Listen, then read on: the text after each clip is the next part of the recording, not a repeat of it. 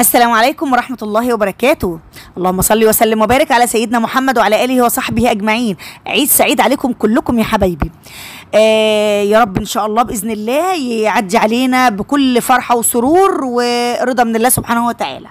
آه وصفة تفصيلية للمنبار تنظيف الحشوة آه آه إزاي نحشي آه التكات يعني الحاجات البسيطة اللي تنجح الوصفة طعمها اللذيذ المدة كل حاجة كل حاجة ممكن تحتاجيها هتلاقيها إن شاء الله في الفيديو ده. بس ما تنسيش لو عجبك الفيديو وإن شاء الله بإذن الله يعجبك ما تنسيش ال like وال subscribe فضلا وليس امرا. ولو أول مرة تشوفيني آه معاكي آه أو معاكي أو معاك آه قناة هنموت بتقدم أكلات وكمان أكلات لزوجي الشيف ميمو. إن شاء الله بإذن الله تنال إعجابكم. بعد الفاصل تابعوني.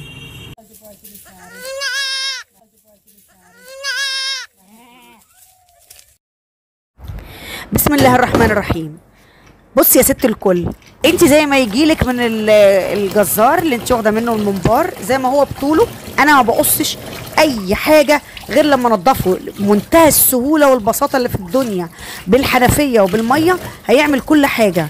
مش هتعملي حاجة خالص آه يعني مش هتقصي وتمسكي حتة حتة وتنضفيها وتقلبيها لا خالص. بمسك بقى المنبار كده زي ما هو بطوله كده وبكحت آه ال- ال- الدهن اللي على أنا بس بخلص علشان آه الفيديو أصلا في وصفة كمان حشوة الممبار فأنا قلت بس أقولها بسرعة للبنوتات خلاص؟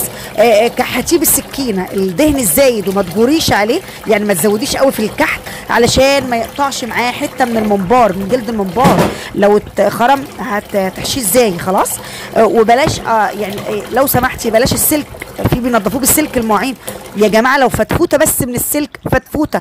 آه لزقت في المنبرايه خلاص كده والعياذ بالله يعني شوفوا هناكلها إزاي بقى ما ينفعش. فبلاش السلك دي نصيحة عن اختكم وفي بيعملوها بكربونات الصوديوم وخل ومش عارف مية سخنة. يعني كل واحدة لها طريقتها بس أحلى حاجة بالسكينة على طول جرد تجردي كده آه بالسكينة تك تك الدهن الزيادة. خلاص؟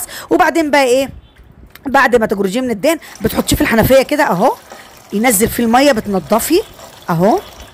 طبعا أنا بخلي بعد كده عشان كده أنا هقلبه بعد كده بخلي الدهن من جوه. أنا بحب أنا أنا بحب الدهن آه، بتاع الممبار يبقى من جوه مش من بره. خلاص؟ عايز تخليه من بره؟ أنت حرة. أهو بصوا نضفته وعملته حلو قوي. هنقع بقى في شوية دقيق وملح. يا ريت بقى لو ملح خشن كمان. وتسيبيه أهو. هتنقعيه كويس جدا. كده أهو. سيبيه بقى حوالي إيه؟ عشر ربع ساعة كده ربع ساعة تلت ساعة ما يجراش حاجة. أهو.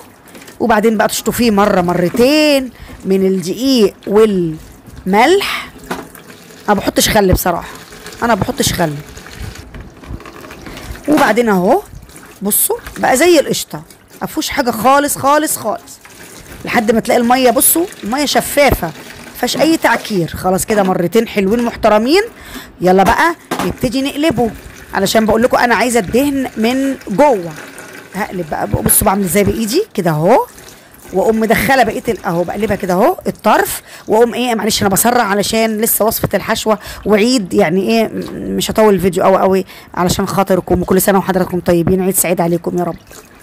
وأقوم قلبه كده. هي الحنفية هتقلبه لك انت بس امسكي الطرف ودخلي أول جزء من الإيه من المنبار وهي الحنفية هتقوم بالواجب. أسهل طريقة. لكن لو قصتيه تمسكي حتة حتة أهو بصوا. بسم الله ما شاء والله ما هياخد وقت. جربي إن شاء الله 100 كيلو أهو. الطرف تعملي كده. أهو تقلبي كده الطرف أهو وتقومي مدخلة بصباعك كده. أي بس أول حتة تدخليها والمية تقوم مزحلقالك بقية المنبراية لجوه. يبقى قلبتيه بمنتهى السهولة. أهو اتقلب وبقى نضيف زي القشطة. نعمل إيه؟ نقطعه بقى. نقطعه. حسب ما إحنا عاوزين صغير ولا كبير براحتك خالص. آه في طريقتين في طريقة كده أقطع كده وأقيس عليها وأقطع تاني وأقيس عليها لحد ما أخلص الكمية كلها. أهو. تمام؟ أسهل من كده مفيش. يعني ما تستتقليش بعد كده الممبار. خلاص كده قطعناه. في طريقة تانية. بمسكة تمديه من الطبق أهو وبالطول يبقى بالويم كده هتعرفي إن هو ده الطول أهو. بصوا تشدي أهو الطول أهو أهو. تمام؟ في اي طريقة تعجبك اعمليها خلاص؟ أهو بعد ما نضفناه بعد ما نضفناه آه، هناخد بقى الشويه اللي إحنا هنعملهم.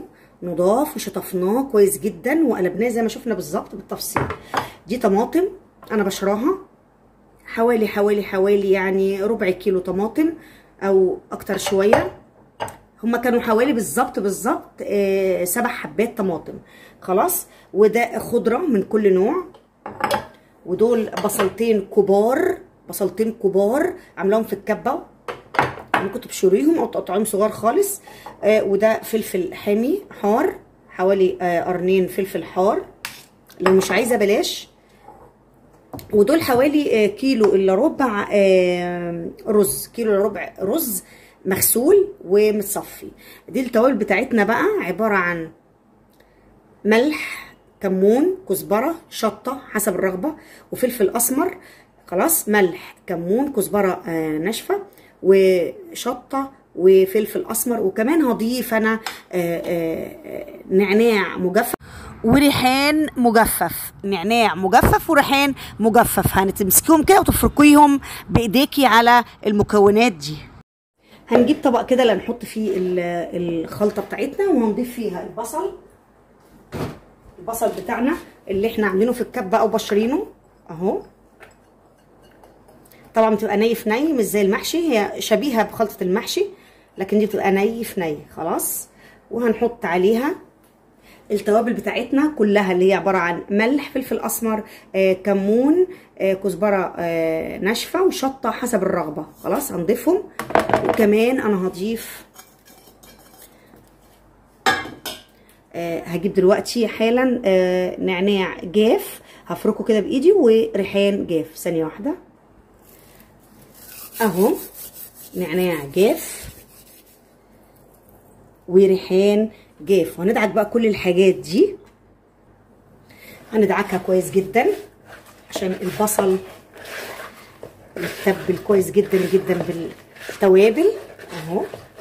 طبعا نخلي بالنا خصوصا البنوتات عشان عينك بعد ما تدعكيها بالبصل والشطة. خلاص خلي بالك.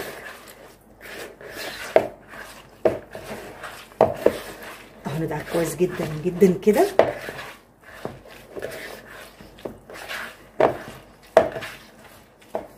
بس بعد ما دعكناه كويس هنضيف بقى إيه؟ هنضيف بسم الله الرحمن الرحيم. الصلصة بتاعتنا. دي صلصة مبشورة. وكمان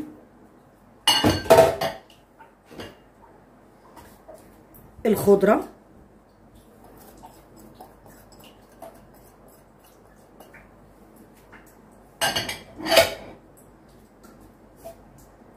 وكمان الفلفل. هنضيف كل الحاجات بتاعتنا فيما عدا الرز. ونقلب برده كده. عايزة أقول لكم ريحة النعناع مع الريحان رهيبة رهيبة رهيبة. هنقلب كده كويس قوي قوي عشان كله يتبل مع بعضه. آخر حاجة بقى هنضيف الرز بتاعنا اللي إحنا غاسلينه. ومصفينه. الله الريحة. الله الله. يلا بقى نجيب الرز. والرز بتاعنا. بسم الله الرحمن الرحيم. وهنقلب برضو كده نفضي الرز كله ونقلبه. أنا هنا بقى ضفت شوية معجون طماطم أو صلصة من برطمان علشان تبقى لونها أحمر وجميل. وهنحط شوية زيت حبة حلوين كده حوالي حوالي نص كوباية على الكمية دي نص كوباية زيت. وهنقلب. هنقلب بقى كويس آخر مرة خلاص أنا قلبتها كويس جدا جدا. وهنبتدي بقى نحشي الممبار بتاعنا. غاسلينه هنصفيه. وهنبتدي نحشيه.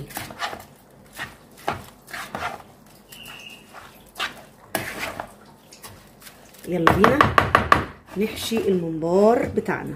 هنجيب بقى واحدة واحدة. بسم الله الرحمن الرحيم. الممبار اهو. هنمسك كده. كده. عايزين تحشوه كده.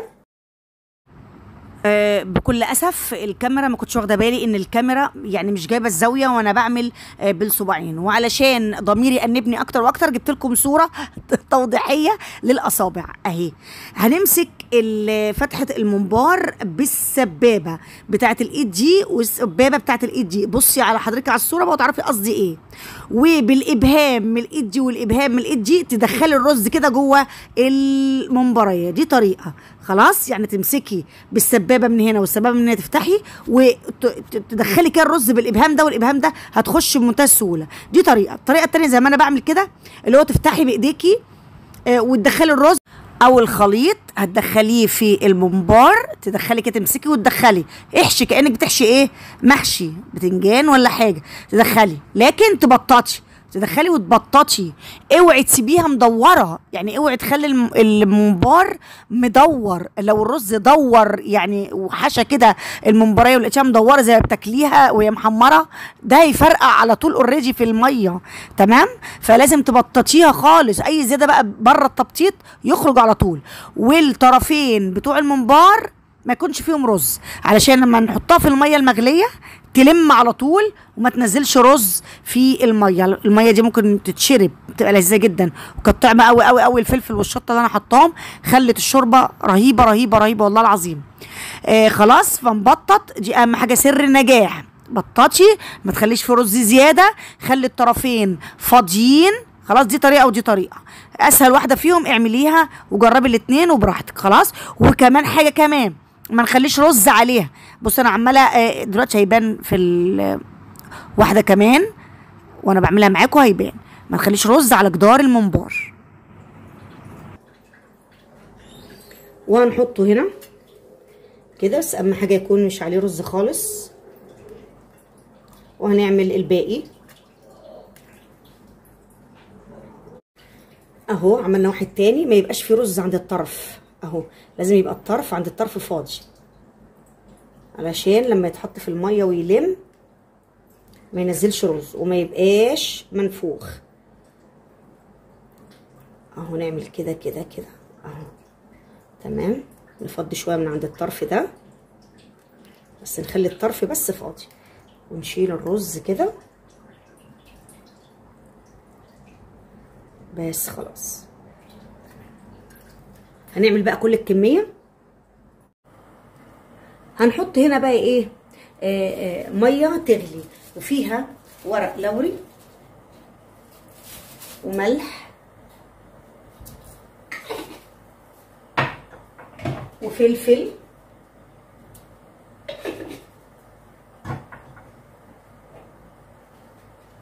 وشوية حبهان مطحون. هتغلي بقى. وهنسقط فيها ال- الممبار بتاعنا اللي إحنا حشيناه. اهو بقى خلصنا الحشو كله والمية بتغلي على النار. يلا بينا آه، نحطه في المية المغلية. اهي بقى غليت لازم تغلي تماما تماما. هنجيب بقى بسم الله الرحمن الرحيم. الممبار بتاعنا ما يكونش عليه رز من بره زي ما شفنا مع بعض وننزل فيه بسم الله الرحمن الرحيم في المية. بسم الله الرحمن الرحيم. هو أول ما عشان كده لازم تبقى المية مغلية جدا. هو أول ما ينزل الحروف بتاعة الممبار هتلم. خلاص أهو. وطالما مش مش ملياه قوي ما تخافيش مفيش حاجة اسمها إيه هيطرقع. إن شاء الله. هنحط بقى كل الكمية. أهو حطينا بقى كل الكمية كل كمية الممبار. أول ما المية تغلي تاني يعني هي غليت لما بنحط فيها الممبار بتبرد شوية. فأول ما تغلي تاني هنقوم مغطيينها وموطيين مهديين النار عليها ونسيبها تستوي وهنشوف مع بعض إزاي استوت أو يعني آه هنعرف إزاي استوت مع بعض. خلاص؟ بس لما تغلي المية.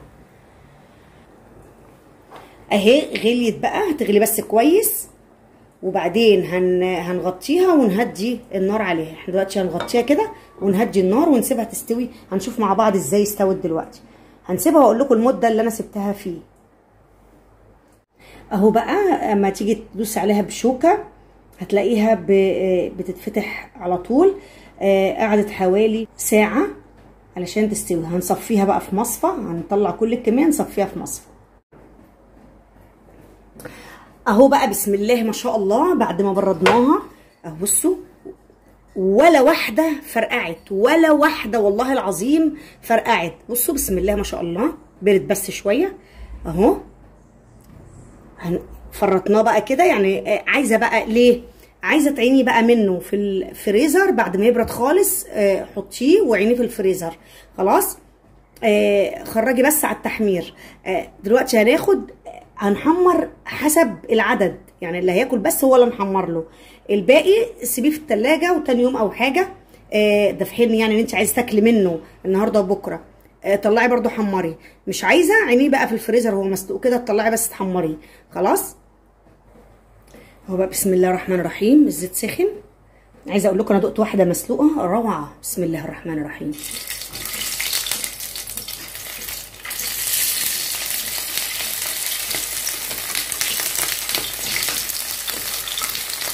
نحمرها بقى لحد ما تاخد لون جميل كده. نقلبها طبعا. كل ما تحمر على وش نقلبها. بس لازم يكون إيه؟ الزيت سخن.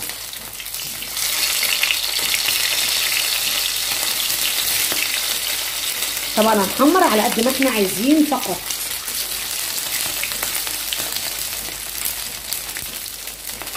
والباقي نعينه في التلاجة زي ما قلت لكم. ولو مش عايزين أصلا يعني عاملينه وعايزين تخزنوه هو بقى هو مسلوق كده نعينه في الإيه؟ في الفريزر.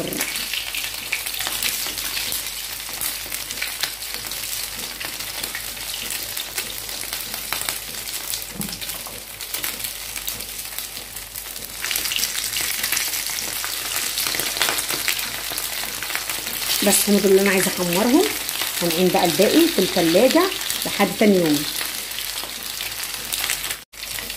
اهو نقلب بقى اللي اتحمر نقلبه.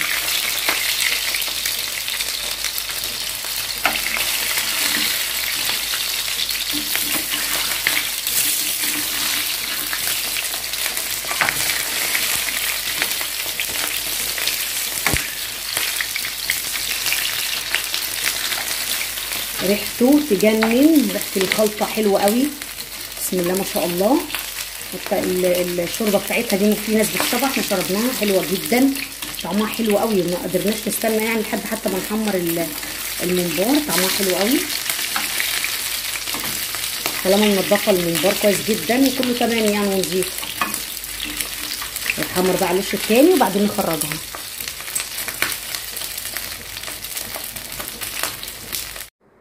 اهو بقى بسم الله ما شاء الله. إيه رأيكم؟ منظر يجنن طعم حكاية طعم تحفة. الممبار ده بقى ناكله إيه جنب شوية شوربة كده منه تحفة. والفلفل والشطة اللي حطيناها مودين الشوربة في حتة تانية خالص. والممبار ما قدرناش يعني نصمد في أكلنا منه وهو مسلوق. بسم الله ما شاء الله. أهو لذيذ. بسم الله ما شاء الله. إيه رأيكم؟ كل سنة وأنتم طيبين. عيد سعيد عليكم. هو العيد ده ما يحلاش غير بالممبار والفشة والكبدة. أنا أكتر حاجة بحبها الممبار ثم الكبدة. ولادي بقى هم اللي بيحبوا الحاجات التانية. بسم الله ما شاء الله بألف هنا وشفا.